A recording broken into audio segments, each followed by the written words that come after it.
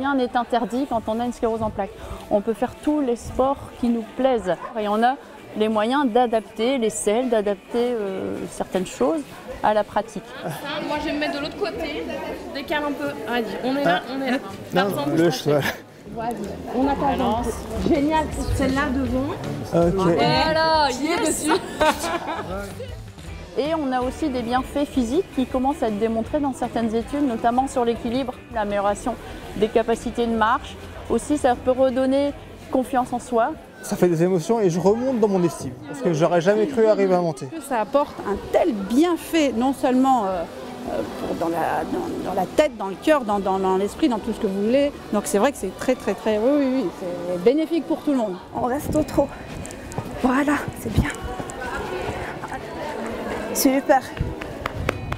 Pendant deux secondes, j'étais toute seule au monde. hein. j'étais pas là. se sont dépassés encore une fois euh, dans, dans un défi euh, euh, de, de- de devoir, de pouvoir monter, tenir bien droit et on en a vu là qui était vraiment bien, bien installé. Ensuite, voilà. Bah, nickel, c'est ça. Ah, c'est beau.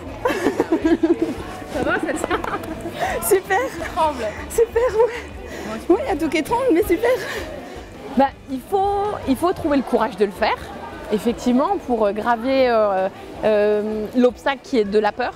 La crainte de ne pas réussir, la crainte de tomber. euh, comme j'ai un côté handicapé, euh, j'ai pas d'équilibre du côté droit. Les risques sont quand même très minimisés avec des chevaux vraiment adaptés. C'est comme les chiens guides d'aveugle. hein. Les chevaux sont vraiment euh, habitués et dressés entre guillemets pour accueillir ce genre de public. La joie de pouvoir monter à cheval, quoi.